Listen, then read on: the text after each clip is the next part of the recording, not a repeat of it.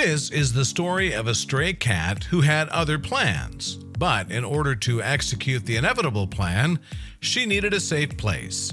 So she followed this family for four blocks and went straight home with them.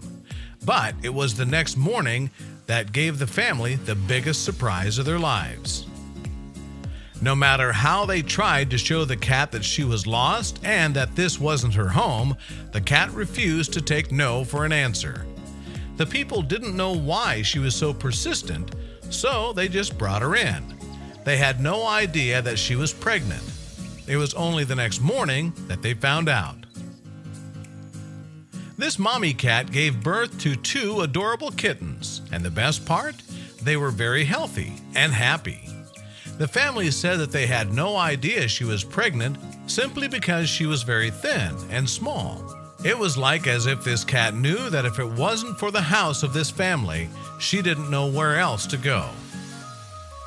Much like any cat would do, this cat also explores the entire house with her kittens, moving from one hiding spot to another. But she lets the people touch them and pet them while she eats. The funny part is that if she's eating and they meow, she turns and looks at the people with a stink eye.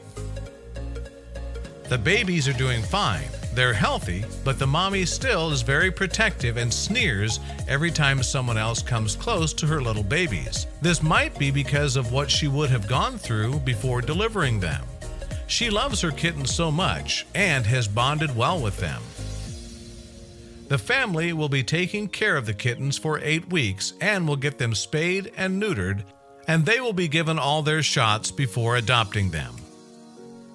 This is incredible, isn't it? I mean, it was as if the mama cat knew that she needed a safe and warm place to give birth to her kittens. Don't forget to share this post with your friends.